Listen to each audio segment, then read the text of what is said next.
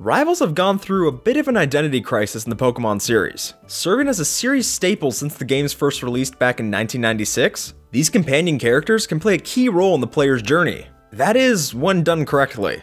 You see, as the franchise expands, so does its definition of a rival character, with early examples of Blue and Silver from generations 1 and 2 respectively. These rivals served as driving points for the player as they mirrored your journey to take down the Pokemon League. However, a trend originating from Generation 3 onward was the concept of a friendly rival. That is, someone who lines up more with your beliefs and practices as a trainer, or maybe just doesn't even share the same goals in your journey. And as later installments introduced further ideas of having to juggle multiple different characters, the ways of the past seem to be lost to time. While not wholly on board with this change, I didn't see it as a greater issue for the series, instead just hoping that the fabled next generation would return to form. That is, of course, until the marketing run for the Pokemon Yellow remakes of Let's Go Pikachu and Eevee kicked off. In the trailers for these games, in displaying one of the new features for the title, newcomer Trace is announced with that one key term, friendly rival.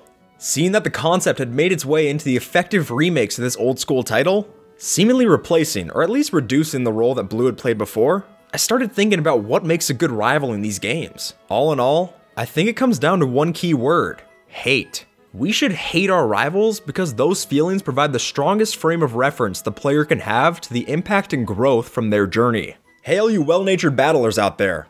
I'm Skip the Tutorial, and this is Boss Battle Breakdown. A deep dive into the ins and outs, and in this case, the themes of boss design. And hey, this is your first time here, make sure to throw a Pokeball Plus on that subscribe for weekly insights into your favorite bosses. Now, one of the reasons I think it's crucial for us to despise our rivals is because they represent the opposite ideology in a logical way. Whereas the evil crime syndicates of these games show off the pure evil of these stories, and are always unsuccessful because of it, these rivals can be so compelling because they actually achieve measures of success in their methods.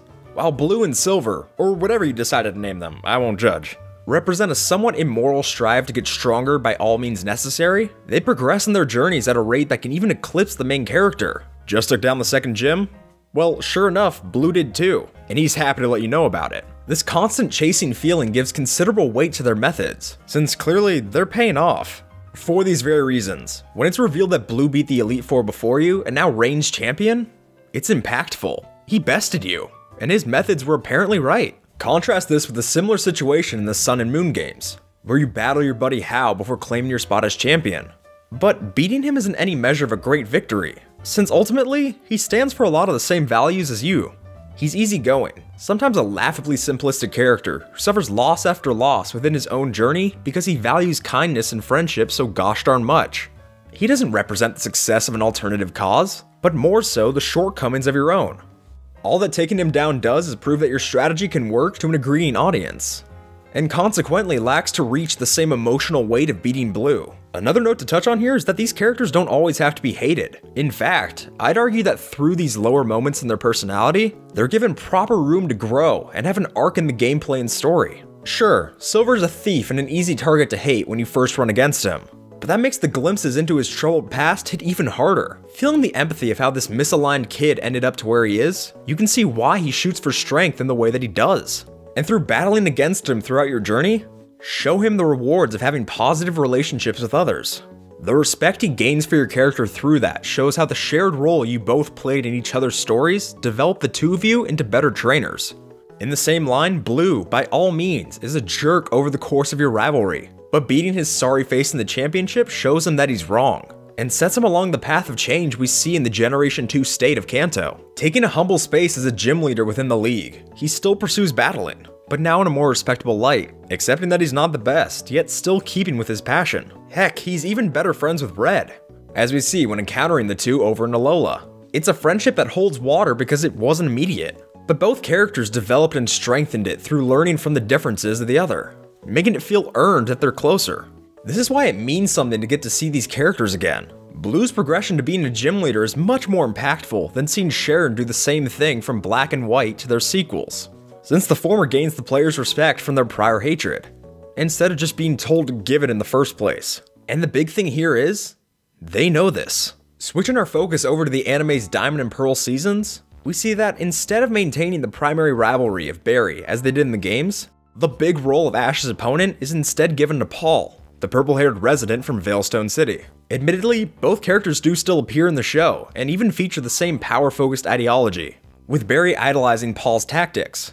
But despite this, it's easy to see the flaws in this strategy through Paul's shortcomings of being arrogant and abusive towards his Pokemon, even going so far as to release his own beast if they're too weak to achieve his goal, as opposed to Barry, who's just the same overly energetic, boisterous kid that he is in the video games. And as is the pattern here, making him into this parallel universe protagonist with questionable morals gives each battle he has with Ash, particularly their final face-off, a large amount of tension and excitement. By making this character into someone we all can hate, in the end, he ends up being someone we can love, or at the very least respect for his growth over the course of the story. Looking into the future, these later rivals of coming generations should be designed with every intention for the player to dislike them. And make no mistake here, although I say them, I really do think that it's best to limit the rival down to one central character. Otherwise, the arcs and motivations can just get jumbled.